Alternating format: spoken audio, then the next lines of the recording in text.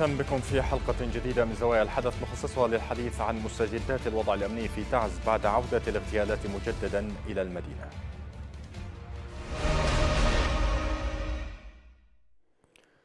اتهمت شرطة محافظة تعز قائد كتائب أبي العباس بالتستر على مجرمين ومطلوبين في قضية اغتيال محمود الحميدي مدير عام الشرطة العميد منصور الأكحل قال في مؤتمر صحفي إن الأجهزة الأمنية أمهلت كتائب أبي العباس 12 ساعة لتسليم القتلة بناء على توجيهات محافظ المحافظة لكنها رفضت وبدأت باستهداف دوريات الحملة الأمنية وقتل أفرادها. إلى ذلك أكد مصدر أن المواجهات أدت إلى مقتل جندي وإصابة خمسة آخرين برصاص مسلحين خارجين عن القانون وسط مدينة تعز. بيان صادر عن الشرطة أوضح أن مجاميع مسلحة قامت بنش قناصة ومدافع هاو وسط الأحياء السكنية واستهدفت أقسام الشرطة في حي الجمهوري. نتوقف عند هذا الخبر لنناقشه في محورين مستجدات الوضع الأمني في المحافظة وموقف السلطة المحلية وإدارة الأمن في تعز من استمرار الاغتيالات للضباط الأمن في المحافظة. نشاهد التقرير ثم نبدأ النقاش مع ضيوفنا.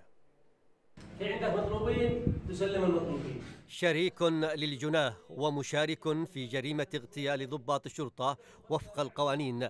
هكذا وصفت شرطة تعز عادل أبو فارع المكنى بأبو العباس خلال مؤتمر صحفي وضحت فيه تفاصيل الأحداث الأخيرة في المدينة والتي ذهب ضحيتها قتيلان من الأمن وثلاثة عشر جريحا بسبب ما أسماه المتحدث باسم الشرطة رفض تسليم أبو العباس المطلوبين أمنيا ومنعه قوات الأمن من القبض عليهم. الأحداث المتلاحقة والتحقيقات الأولية للشرطة أظهرت وجود خلية مسلحة محمية من كتائب أبو العباس وهي الخلية التي نصبت كمينا للأمن في الحي الجمهوري. بعد القبض على أحد أفرادها المدعو مختار العسيق وهو ما أدى لاستشهاد النقيب محمود الحميدي الجمعة الماضي. وفق إدارة الشرطة فإن مهلة مدتها 12 ساعة أعطيت لأبو العباس لتسليم قتلة النقيب المحمودي بناء على توجيهات المحافظ نبيل شمسان إلا أن المهلة انتهت بانتشار مسلحين بحي وادي المدام وقيامهم بالاعتداء على الجنود. وبحسب البلاغ الأمني فإن المجاميع المسلحة المحمية من الكتائب قامت بنشر القناصات ونصب مدافع الهون مستهدفة الأحياء السكنية ما أدى لمقتل امرأة واستشهاد الجندي عمار عبد الكافي وإصابة خمسة آخرين قنصا. في الوقت الذي قامت فيه عصابة مسلحة بقيادة المدعو أحمد الذرة بنشر رشاشات ومدافع في منازل سكنية أسفل قلعة القاهرة. الفوضى الأمنية الموجهة بوصف مراقبين ستستمر بتعز طالما بقيت سياسة التفاوض مع المطلوبين أمنيا هي الرائجة. وطالما ظلت مشكلة أبو العباس المصنف في قائمة الإرهاب دون حل نهائي يفضي لتمكين الأمن من بسط تواجده في كافة أنحاء المدينة والمحافظة. مجددا الترحيب بكم مشاهدينا الكرام إلى هذه الحلقة من زوايا الحدث. كما أرحب بمن ينضم إلينا من تعز العقيد سمير الأشبط مساعد مدير الأمن. أرحب بك سيادة العقيد. اذا بداية ضعنا في مستجدات العمليات الأمنية الخاصة بضبط العصابات المسلحة كما يصفها بيان إدارة الأمن. ارحب بك وبمشاهديك الكرام.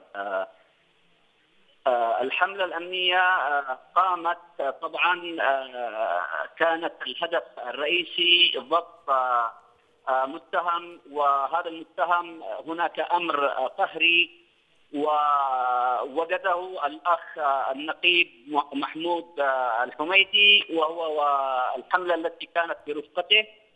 وأخذه وكان التفاهم تفاهم ايجابيا ولكن يفاجأ الأخ النقيب بوابل من الرصاص وقنصة في جبهته في مقدمة الرأس على إثرها انتقل شهيدا إلى ربه.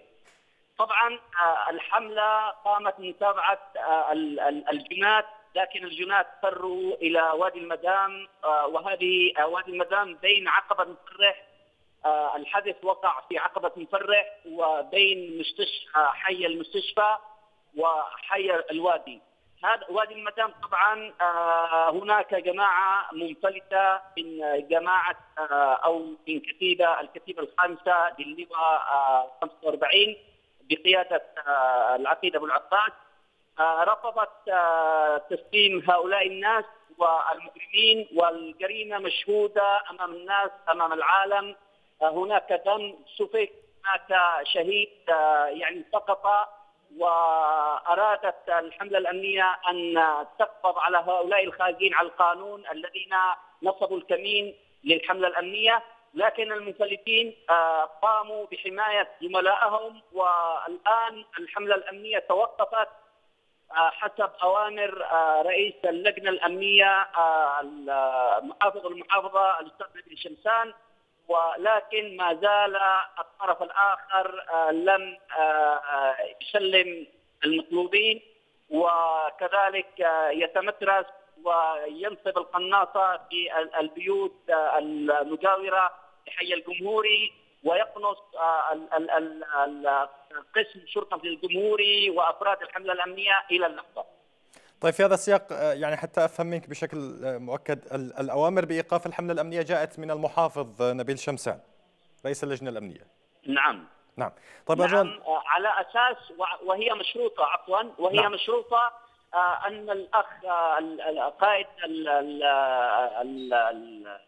الكتيبة أن يلزم أفراده بتسليم زملائهم إلى إلى الحملة الأمنية ولكن إلى الآن لم يتم.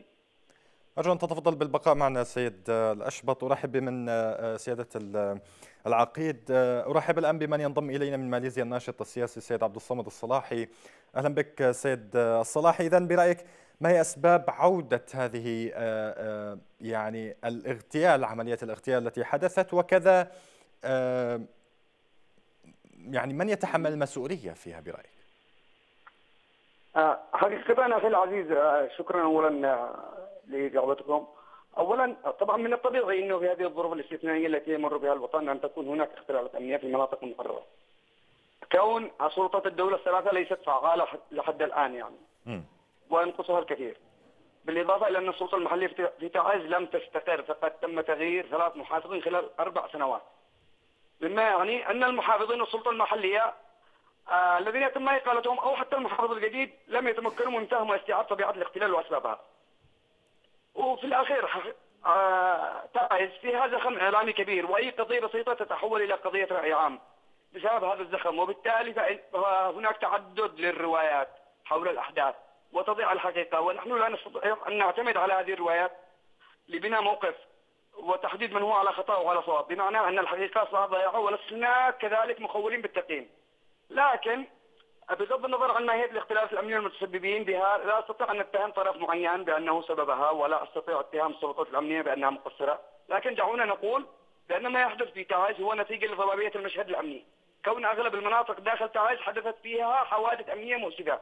حاله قتل واعتداءات وتبادل اطلاق نار، ما يعني أنه يستوجب على الاجهزه الأمنية وضع خريطة توضح النقاط الأمنية الساخنة داخل المدينة وتعرضها بوسائل الإعلام.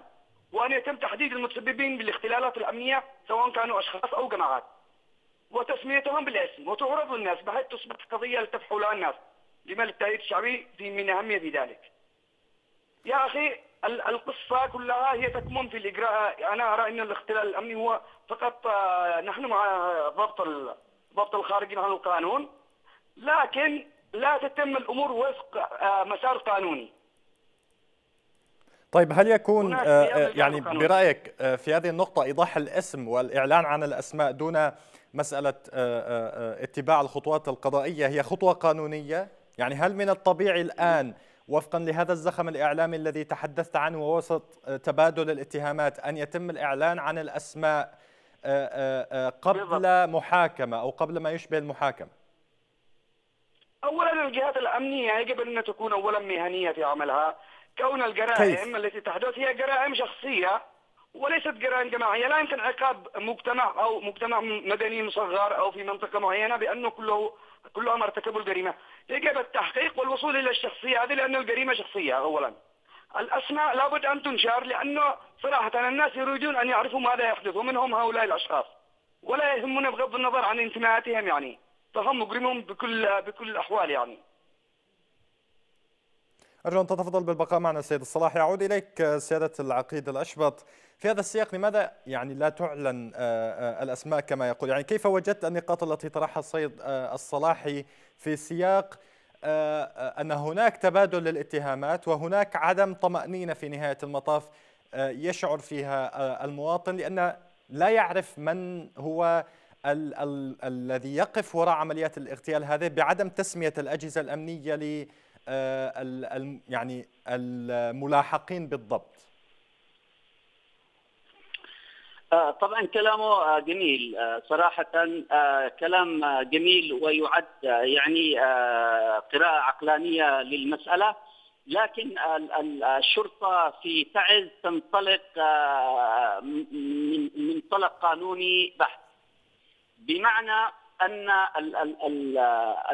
الحادثة التي وقعت كانت سببها أن الحملة الأمنية قامت بالقبض على رجل متهم وهناك أمرا قهريا من النيابة هذا واحد أثناء الاتهام أثناء القبض عليهم قوبلوا بوابل من الرصاص وبقنص قائد الحملة. هذه جريمة مشهودة. الجريمة المشهودة في القانون الاجراءات الجزائية أعطت لمأمور الضبط القضائي يعني مساحة كبيرة وصلاحيات أوسع. المادة في القانون الاجراءات الجزائية المادة 180 توسع صلاحيات مأمور الضبط القضائي ليست فقط بجمع الدلالات أو الاستدلالات ولكن بالقبض والتحقيق ومداهمة أي مكان يعتقد بأن مرتكب الجريمة المشهودة موجود فيه. اذا هناك دماء، هناك شهيد سقط في وقت معين في لحظة معينة ومأمورية الضبط القضائي يجب أن يتابعوا مصدر النيران والمتهم الذي يعني أقر فيه أو أقر الشهود العيان أقروا بأن المتهم فلان وفلان وفلان هذه الأسماء التي مدير أو شرطة محافظة تعز سلمتها لمحافظ المحافظة رئيس اللجنة الأمنية وسلمتها كذلك لقائد المحور وسلمتها لوزير الداخلية والمهندس أحمد بن أحمد الميسري ولكل المعنيين في الأمر. اذا الاجراءات القانونية لدى الشرطة كانت واضحة ونحن دائما نقول نحن لسنا في صدد المناكفات. هناك يعني في تعز أمر معين يحدث نحن لسنا في صدده ولسنا طرفا فيه. نحن ننفذ القانون نحن نحمي أو نحمي أبناء تعز. نحن المطلوب أن يكون هدفنا الأول والأخير هو أبناء تعز المواطن التعزي نال وقاس وتجشم هذه المعان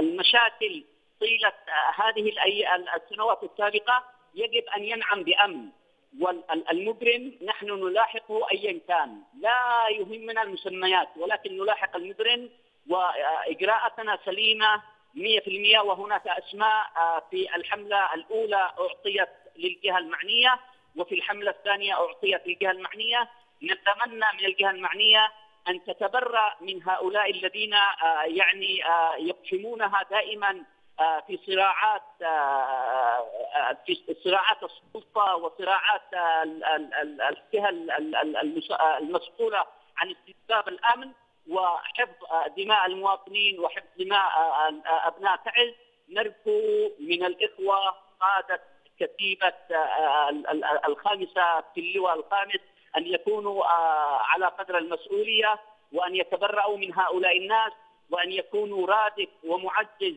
رئيسي للأمن ولسلامه المواطن في مدينة تعز. طيب في هذا السياق هل أفهم من كلامك الآن أن التوجيهات بإيقاف هذه الحملة الأمنية كانت معرقلة لكم في سياق آه، آه، استمرار آه، صلاحيات الآمر الامني الذي تحدثت عن صلاحياته هذه فيما يتعلق بضبط المتهمين في هذه الحملة الأمنية؟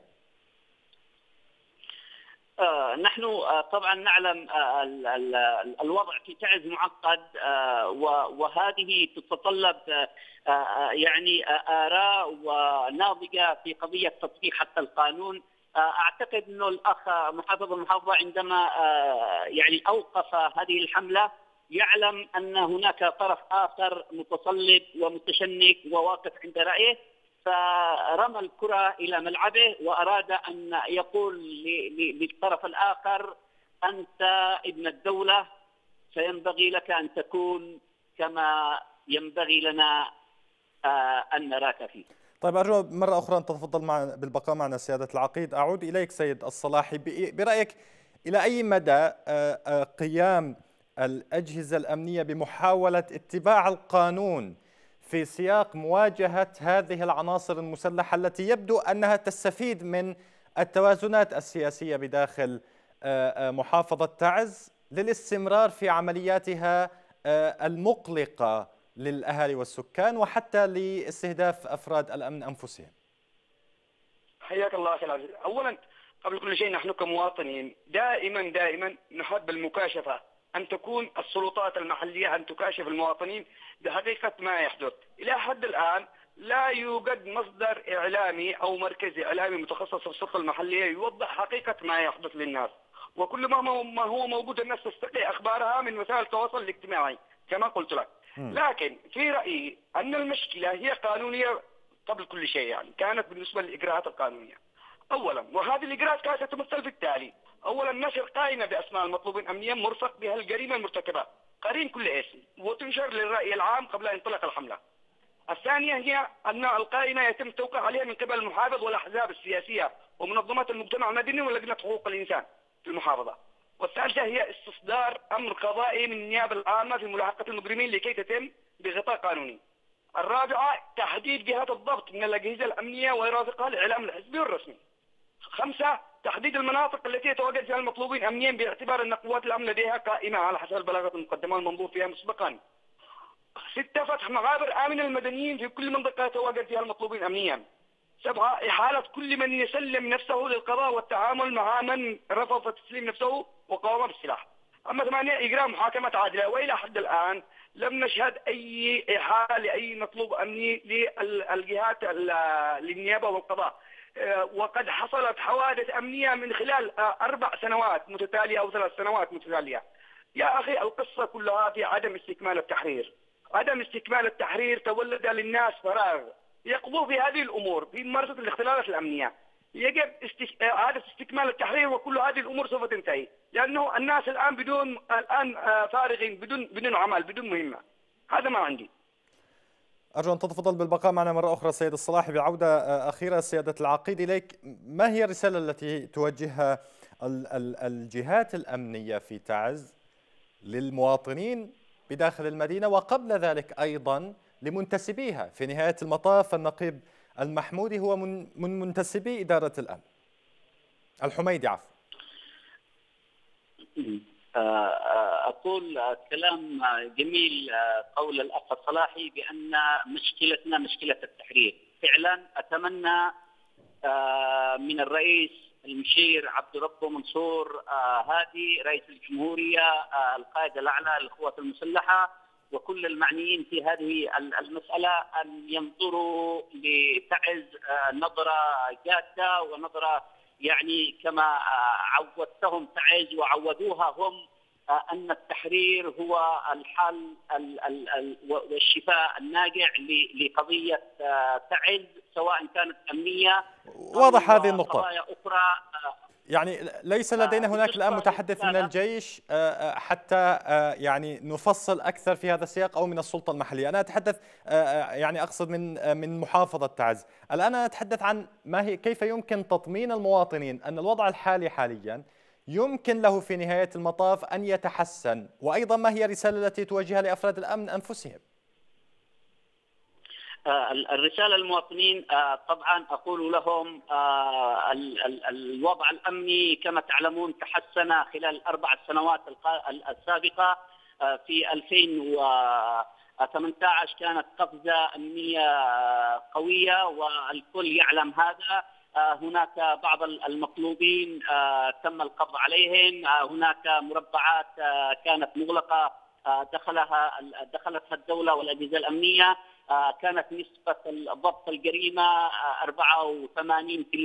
في 2018 و2019 إن شاء الله سيكون ضبط الجريمة أعلى نسبة بإذن الله. وأقول آه، نحن في خدمتهم ونحن آه، موظفين لديهم. وأما الرساله الثانية للشق الآخر آه، رجال الأمن أقول لهم أنتم رجال الأمن أنتم أمل هذه المدينة وأمل هذه الأمة أمل أنتم مستعدين أن تقدموا. وأنا أولكم أن نقدم نفوسنا وأرواحنا رخيصه من أجل سلامة البلاد. وسلامة آه، آه، أبناء تعز ومدينة تعز وأشكركم على ما قدمتموه من شهداء. وأنتم مستعدين آه، لتقديم المزيد من أجل هذه المدينة. وشكرا للجميع سواء كانوا أبناء تعز ومواطني تعز ورجال وجيش وأمن تعز أشكر الجميع. شكرا لك سيادة العقيد. سمير الأشبط مساعد مدير الأمن كنت معنا عبر الهاتف. من تعز بعودة أخيرة إليك سيد الصلاحي. في في هذا السياق يعني أنت تتحدث عن ضرورة تحرير آه، المحافظة لكن يبدو أن هناك موازنة ما بداخل أو يعني توازن معين مشكلة سياسية معينة بداخل البلاد كلها تعيق ذلك كما يقول الكثير من المراقبين. إذا برأيك ما هو الحل بداخل المدينة؟ كيف يمكن أن تستتب الأوضاع بمعزل عن المؤثرات الخارجية فيها؟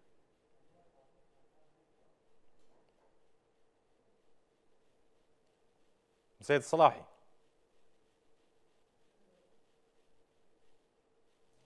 سيد صلاحي هل تسمعني؟ يبدو أن هناك إشكالية في الصوت. كان قبل قليل معنا السيد الصلاحي تحدث على أن آه، آه، السلطة المحلية لم تستقر في تعز وهذا الأمر آه، أثر بشكل كبير في ازدياد يعني حالة عدم لا حالة لا الاستقرار بداخل المدينة. وفي نهاية المطاف هناك أيضا تراشق للاتهامات. هناك عدم وضوح للمعلومات ومن وراء الاختلالات الأمنية في آه، تعز كان قد طالب الأجهزة الأمنية بالإعلان عن أسماء آه، المتهمين في سياق بداية كل حملة. وفي المقابل كانت تصريحات إدارة الأمن أنها تقوم بالإجراءات القانونية بهذا السياق وليس لديها إلا القيام بذلك. بهذا مشاهدينا الكرام نصل إلى نهاية هذه الحلقة آه، من زوايا الحدث. نشكركم على حسن المتابعة والإنصات. في ختام الحلقة تقبلوا تحياتي وتحيات طاقمي العمل الفني والتحريري. إلى اللقاء.